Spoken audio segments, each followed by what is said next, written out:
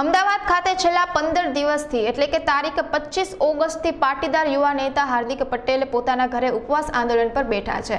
જેનો સત્તરમો દિવસ છે, ત્યારે રાજકોટ જિલ્લાના ધોરાજી તાલુકા તોરણિયા ગામે પાસ કન્વીનર હાર્દિક પટેલને સમર્થન આપવા તથા તેનું સ્વાસ્થ્ય હંમેશા સારું રહે, તેના માટે રામધૂનનું આયોજન કરવામાં આવ્યું હતું.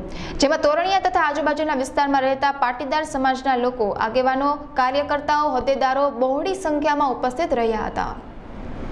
જ્યારે જોડિયા તાલુકાના પીઠળ ગામે પાટીદાર સમાજ તથા રાજપૂત સમાજ દ્વારા હાર્દિક પટેલના ઉપવાસ આંદોલનના સમર્થન અપાયું હતું, જેમાં પાટીદાર મહિલાઓએ ગરબા રાસ લઈ સરકાર સમક્ષ વિરોધ દર્શાવ્યો હતો. તેમજ સિંહોર તાલુકામાં ભાજપ પ્રદેશ પ્રમુખ જીતુભાઈ વાઘાણીના ગામ નાના સુરતમાં હાર્દિક પટેલના સમર્થનમાં ઉપવાસ છાવણીમાં સુરતથી પણ યુવાનો અને વડીલો મોટી સંખ્યામાં જોડાયા હતા અને સરકાર વિરુદ્ધ ભારે સૂત્રોચ્ચાર કર્યા હતા.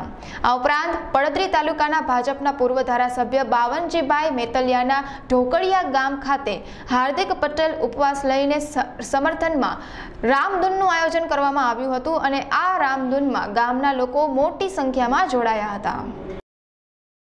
આજે ઢોકરિયા ગામે પાટીદાર તેમજ ખેડૂત સમાજે હાર્દિક પટેલના સમર્થનમાં તેની તબિયત જલ્દીમાં જલ્દી સારી થાય તે માટે રામધૂનનું તેમજ મા ઉમા ખોડલની આરતીનું આયોજન કરેલું હતું.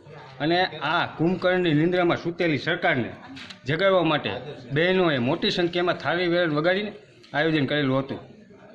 હાર્દિકના સમર્થનમાં સર્વ ગામ લોકોએ સાથે મળીને રામધૂનનું આયોજન કરેલ છે તેની તબિયતને સુધારો થાય, ખેડૂતોની માંગ પૂરી થાય, અનામત મળે પાટીદાર સમાજને.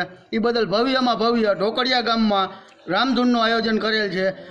લેડીઝ પણ એટલી ઉત્સાહી છે કે થારીને વેલણ લઈને હાર્દિકભાઈના સમર્થનમાં પૂરજોશથી અમારી હારે અમને સાથ દે છે.